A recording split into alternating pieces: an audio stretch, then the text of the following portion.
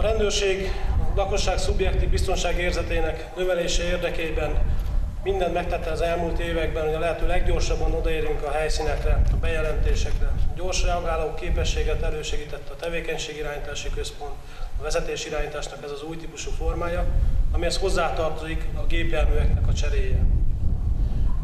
Magyarország kormánya úgy döntött, hogy a rendvédelmi és honvédelmi szerveknél amortizációs csere keretében lecseréli az elhasználódott gépkocsikat. Ennek a ünnepélyes átadásán veszünk ma részt. A gépjárműcsere kapcsán Audi, Volkswagen, Skoda, Mercedes és Suzuki gépkocsik kerülnek rendszerbeállításra. 56 darab gépkocsi átadása történik meg a mai napon. Ezzel a gépjármű állományunk, az állománytáblának egy jelentős része nagyjából az egyharmad része kicserélődik.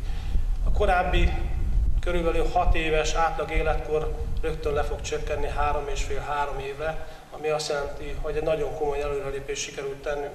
Nem beszélve arról, hogy ezek a modern gépkocsik minden olyan felszereléssel el vannak látva, amelyek elősegítik a biztonságosabb közlekedést, hiszen ABS, ESP és egyéb más rendszerek segítik a gépjármű vezetőt abban, hogy biztonságosan oda is érjen, akkor is, amikor megkülönböztető jelzéseket kell, hogy használjon. Vigyázz!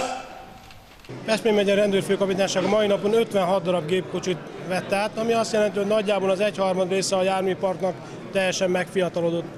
A korábbi kimutatások szerint nagyjából 6 év volt az átlag életkor, most rögtön lecsökkent ilyen 3 év környékére, tehát azt gondolom ez egy nagyon komoly előrelépés, és ha összejön, akkor március környékén kapunk még jelzés nélküli gépkocsikat is, ami a bűnügyi szolgálatnak a munkáját, illetve az egyéb bűnintézői tevékenységet fogja majd támogatni. A gépkocsik elosztásában a legfontosabb alapelv az volt, hogy minden rendőrkapitányságra kerüljenek új gépkocsik.